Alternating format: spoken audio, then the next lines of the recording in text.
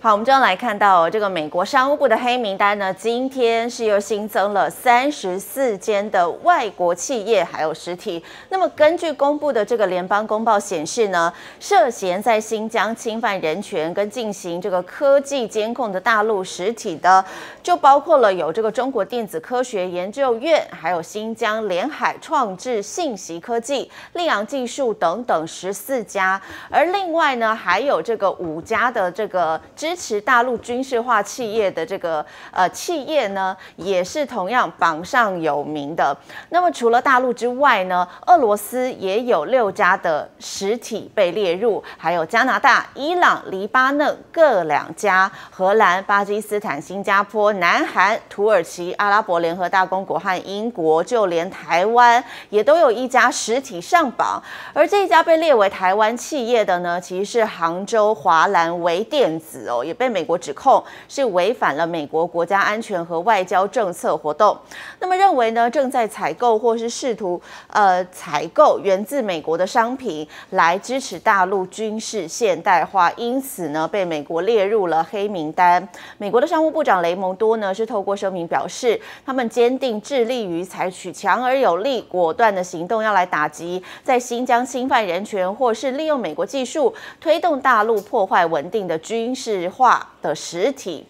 那么另外一个焦点来看到呢，是这个欧盟外长波瑞尔和大陆的外长王毅，七月八号这一天呢是举行了视讯会议。会议结束之后呢，大陆外交部是指出，波瑞尔呢，他在这个会议上头是表示哦，欧方无意搞制度性的对抗，不认同新冷战和小圈子，也无意使欧洲陷入不稳定，并且指出呢，欧方不认同基于国内法呢对他国实施单边的制裁，或是将自己的意志强加于人。那么欧盟方面呢，也坚持价值理念，但是尊重大陆的主权和领土完整。不支持香港独立。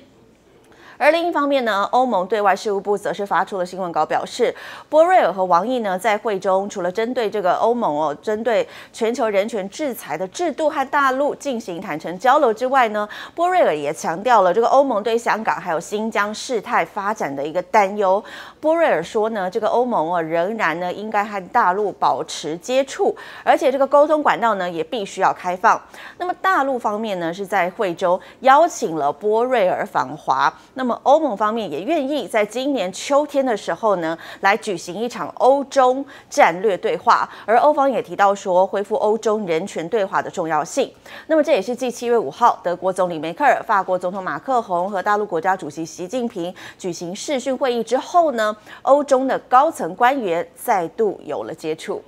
好，另外要来看到的是，美国这个白宫指出呢，这个美国总统拜登今天和俄罗斯总统普京又通话了。拜登告诉普京呢，必须要采取行动来对付在俄国境内的骇客组织，因为过去这一年以来呢，这些地点源自于俄罗斯的骇客组织哦，是针对不论是美国还有其他国家都勒索了赎金，而且呢，类似的这些攻击行动呢，不断的增加。令大家最印象深刻的呢，就是前几个月哦，有一次这个网。络攻击，结果导致了美国东岸呢重要的输油管关闭。那么这些骇客呢，他们的这个呃，他们其他的勒索赎金的目标，还包括了有市警局啦、医院，还有民营的公司。拜登今天是表示呢，美国将会采取任何必要的措施，来保护遭受骇客威胁的美国人民，还有一些重要的基础建设。先来听听拜登今天的最新回应。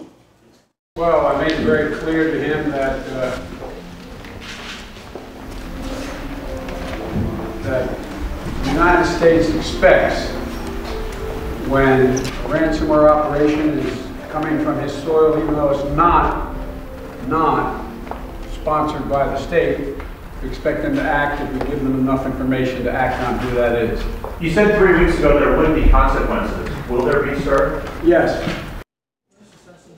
海地总统摩伊士呢，几天前在家中遭到了数名歹徒枪杀身亡，而第一夫人呢也是身受重伤，第一时间是送往了美国来救治，消息震惊全球。那么根据海地当地的媒体报道呢，负责调查总统摩伊士遇刺案的法官是表示说。当中被捕的呢有两名海地裔的美籍嫌犯，在画面当中呢可以看到是这两位哦，他们都是美籍公呃美国公民。他们说呢，他们宣称他们只是帮这些呃枪手来担任翻译的角色，还声称呢这些人的任务是要逮捕摩伊士，而并非将他杀害。那么海地的国家警察局长查尔斯昨天是表示呢，这起案件至少是有二十八个人涉案，当中有二十六个人是哥伦比亚籍，那么另外两个人呢，就是刚刚画面当中这两位，他们是海地裔的美国公民，包括这两名美国人在内呢，已经是有十七人被捕了，还有三名哥伦比亚人被击另外是有八人在逃。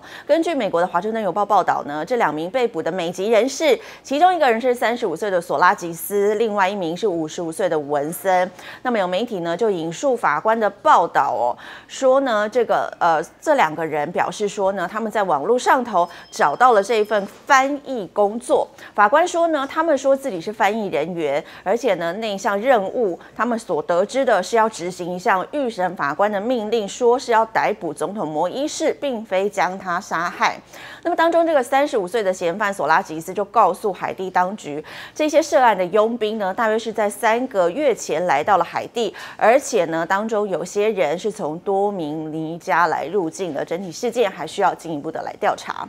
讲到了美国呢，要来看到这个美国佛州这一栋滨海大楼，在上个月二十四号的时候是倒塌了。根据路透社的报道呢，截至当地时间十号的下午，是累计寻获了有七十九具的遗体，但是仍然是有六十二个人下落不明。那么，友邦巴拉圭外交部长周四晚间就表示说呢，这个巴拉圭的第一夫人的姐妹苏菲亚成为了最新寻获的罹难者之一。随着这个搜救工作进入了第十六天，也确认到了这个罹难人数目前是上升到了七十九人。那么上个星期天呢，这个救难人员是以这个爆破的方式拆除了大楼残余的部分呢，也让这个搜寻的进度加速了。只是不幸的是呢，也只是找到更多的遗体。那么巴拉圭第一夫人洛佩斯莫雷拉呢，她的姐妹苏菲亚一家五口呢，也在这个倒塌的大楼当中。巴拉圭的外交部是表示呢，是已经寻。获了苏菲亚夫妇还有两个人的小女儿的遗体，不过呢，还有另外两名孩子和管家仍然是下落不明。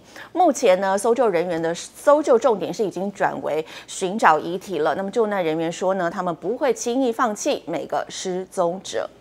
好，接下来要看到呢是这个 G20 的财长峰会，连续两天在威尼斯举行。根据呢最新版本的联合公报哦，与会的财长们是几乎应该要加快向全世界各地来分配新冠疫苗、还有药物以及这个筛检的试剂，但是其实呢是没有新的实质承诺的。这个联合公报呢，其实预计明天会议迈入尾声时才会发布，只是美国媒体呢事先取得了文件，文件当中就显示说这个 G20 的财长。虽然呢是下定决心要让各地的疫情尽快获得控制，但实际上呢却没有做出新的实质承诺，要捐赠疫苗，但也没有提到要如何在财务上支援这个世卫组织共同主导的疫苗、药物，还有这个筛检试剂以及 COVAX 的计划。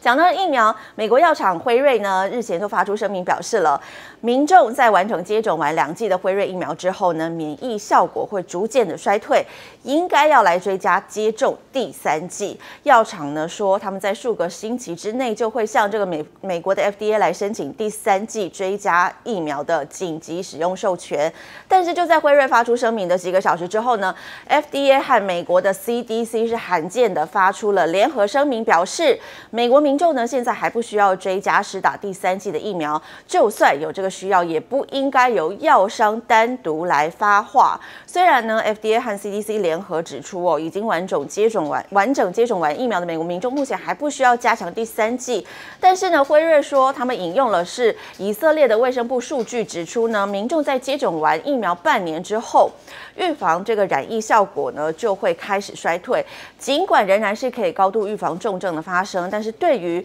染疫本身或是轻症的保护率呢，已经会从超过百分之九十下降到百分之六十四。因此，辉瑞就认为呢，在完整打完两剂疫苗之后的六到十二个月之内呢，应该要追加第三剂。辉瑞也预期呢，追加第三剂将会有效的对抗这个 Delta 变种病毒。最后一个焦点来看到是东南亚的疫情延烧哦，越南昨天是新增了一千六百一十六例的本土病例，再度刷新了新纪录。胡志明市呢，昨天新增的染疫人数则是继续居全越南之冠，总计有一千两百多人确诊。那么越南是已经连续两天这个创下了新高纪录了。当地最新一波的本土疫情呢，其实是从这个四月底开始爆发的，至今两个多月的时间，已经有将近两万两千五百人确诊了。不过同一天呢，有两批的疫苗运抵了越南，包括了他们自己呃采购的五十八万剂 A Z 疫苗，还有日本所捐赠的六十万剂 A Z 疫苗。另外在印尼呢，昨天是宣布爪哇岛和巴厘岛以外的部分地区将会实施紧急限制措施，以防疫情继续蔓延。官员就表示说呢这个苏门答腊岛、还有加里曼丹岛和巴布亚省，一共十五座城市将会实施和爪哇岛、巴厘岛类似的紧急措施。那官员也强调呢，将会为这个医护人员来追加施打疫苗。而印尼昨天通报新增有三万八千多人确诊确诊哦，还有八百七十一人病逝。而马来西亚呢，昨天是新增了有九千一百八十起的确诊，也创下了单日的新高纪录，累计确诊来到了八十一万大关。泰国昨天更宣布了，首都曼谷还有其他九个省份要实施七个小时的宵禁，以及更加严格的限制措施，以防疫情蔓延，也禁止非必要的出门远行。那如果非必要，晚间九点到隔天的凌晨四点钟，泰国人目前是不能外出的。那么，你想要知道最到位的国际时事分析、最精准的国际趋势解读，请立刻订阅全球大视野频道。中天电视频道首页底下有一个频道精选，第二个就是全球大视野，请大家立刻点击进入订阅、按赞、分享、开启小铃铛。看完影片之后呢，也要记得按赞留言，请大家来冲一波订阅全球大视野。